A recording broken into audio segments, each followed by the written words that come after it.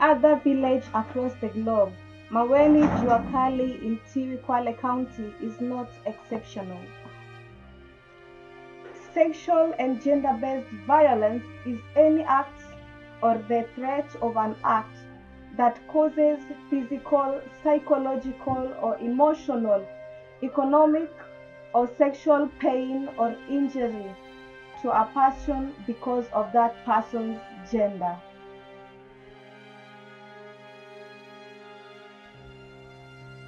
Our area of focus is always mentorship and empowerment drives, mental health awareness, support in kind to the needy, less vulnerable in the society, education through the Mkasi Foundation YouTube channel and other digital platforms.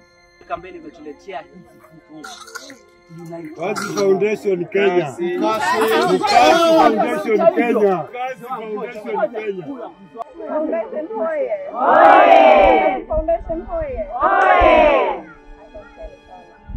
Kwa majina naitwa Mkasi, lakini natoka Mkasi Foundation. Mkutano wetu wa leo nitaongelea kuhusu kitu kinaitwa gender based Violet. Ehe. Pande wangu naona gender based violence ni ni pengine wamama kunyanyaswa, wasichana kupatia watoto wadogo ambaye underage kazi ambaye hawawezi. Wow. Amegonga Mwingine atakuwa labda anaielewa kivyake. Gender based violence ni unyanyasaji kuhusiana na jinsia. Tuki- Tukitafsiri ile ni hali ya rahisi rahisi, ama tu- tuipeleke vile ilivyo. Gender based violence, unyanyasaji kuhusu jinsia. Sawa. Mama amesema kunyanyaswa kwa wanawake au watoto, lakini ile kabisa kuna kunyanyasa kwa wanawake. Based violence imegawanyika mara ngapi? Tutasema kwa sasa, mimi nitasema mara nne au tano. Aina ya kwanza ya unyanyasaji wa jinsia ni kama physical ama ni physical gender physical gender based violence, kupigana mangumi, kuna labda umechapwa, kuna vile baba anakasirika, alafu ama pia mama eh? pia mama anakasirika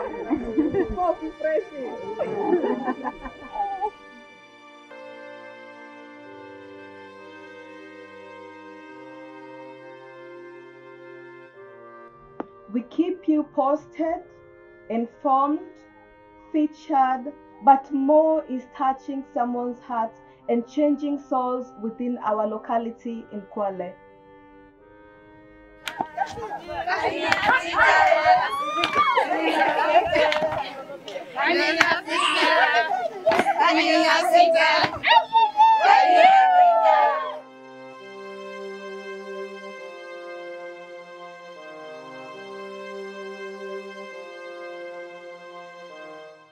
Our dedication team of full time staff and part time volunteers are committed to community development and empowerment in Kenya.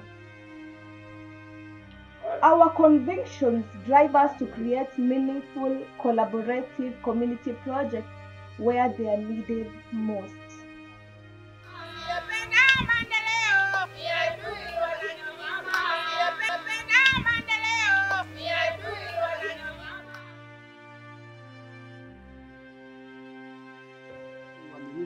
ndani ya majumba yetu. Kuna wanaume wananyimwa au si ndio eh?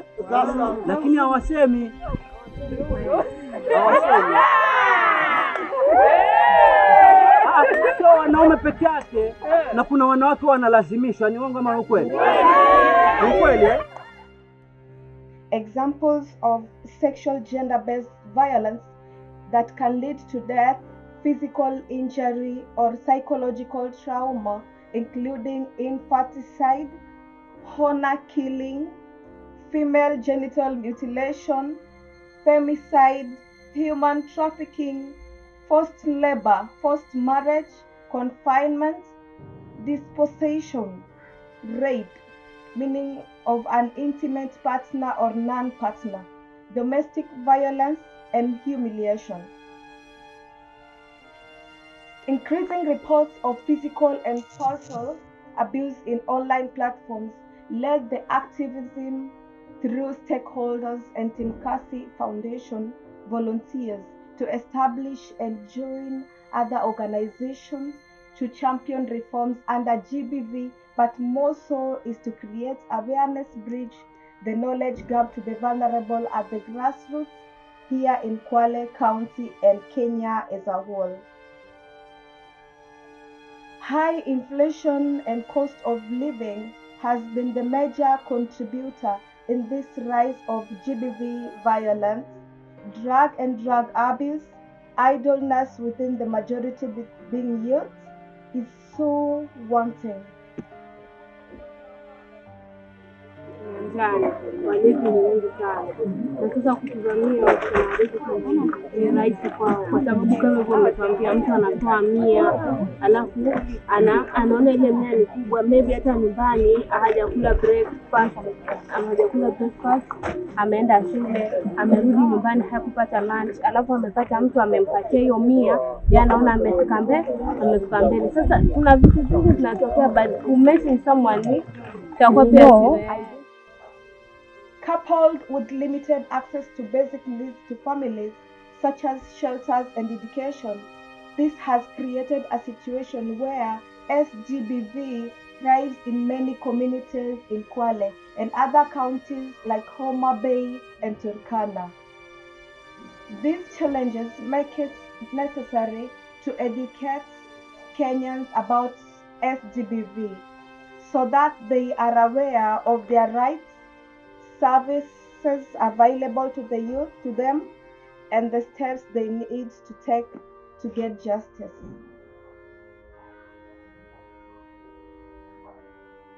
Defilement ni kumwingilia mtoto sasa, hiyo defilement, awe amekubali au amekataa. Sio lazima umlazimishe defilement eh? Ukienda kotini ukipelekwa, maadali huyu umemtia mimba na hana kitambulisho, hiyo ni defilement case. Hata kama amekubali, lakini akili yako na yake haziko sawasawa. sawa. Niko na uwezo wa kumshawishi huyu kivyovyote, nikampa pesa, nikampatia kitu chochote, akakubali. I must state empath- emphatically that SGBV is a violation of human rights. It denies the human dignity of the individual and hurts human development. In 2022, the Ministry of Gender, Children and Social Protection undertook a study on domestic violence, which revealed that nearly 40% of women in Kenya have experienced physical violence, while one in 10 were sexually assaulted. It is estimated that at least one in three women will experience some sort of violence in their lifetime. This represents more than 1 billion women worldwide, and it is the poorest and most marginalized of women who faces the greatest risk of violence. At Timkasi Foundation, we strongly believe that there remain flaws in the system and that this en- encourage SGBV in our country and make it more difficult for survivors to come forward.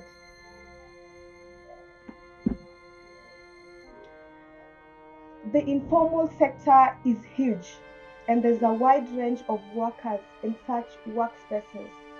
We need to put pressure on the system to walk the talk and structures in place to deal with sexualized violence in informal sectors.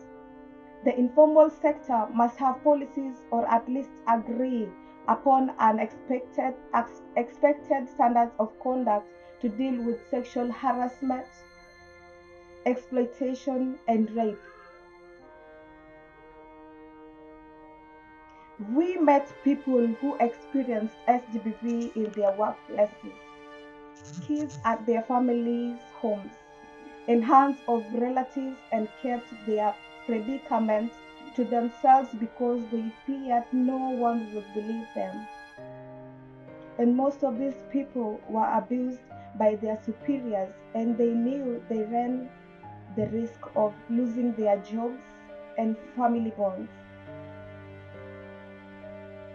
We empower communities through programs that alleviate poverty and eradicate poverty of our minds. Create awareness through kind contributions. We don't have donors yet, but a lot will be reached.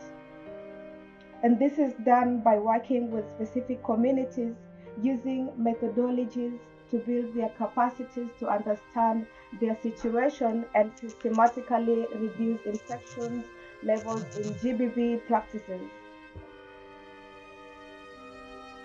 We engage with these communities through methodological tools such as participatory and community assessment, which focuses on the community capacity to analyze their situations and to express priorities themselves.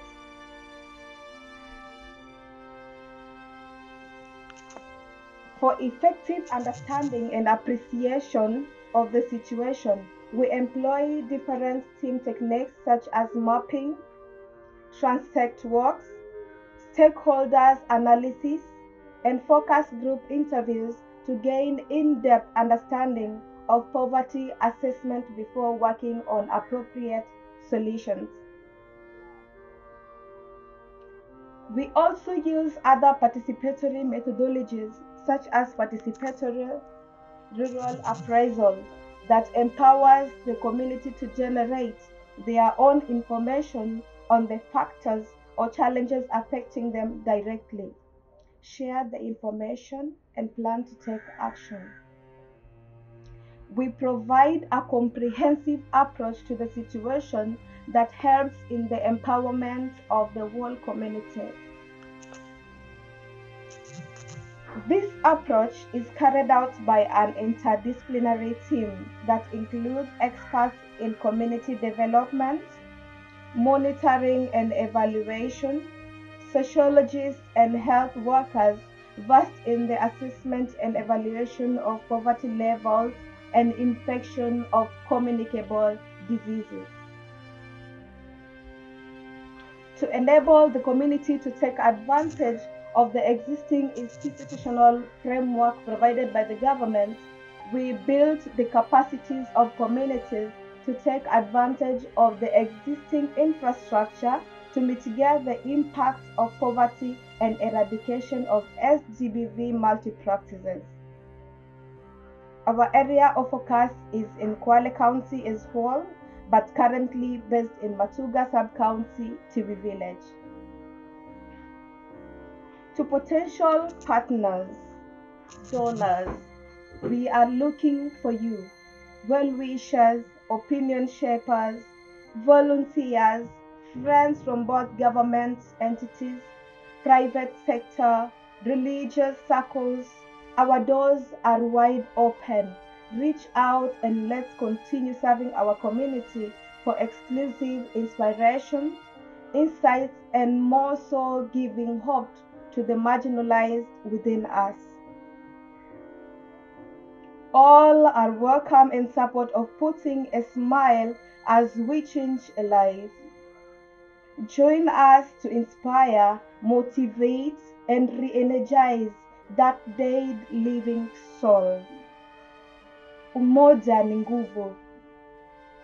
Remember to subscribe today at Mkasi Foundation Kenya. Share our content. Follow us on Twitter as we champion this together.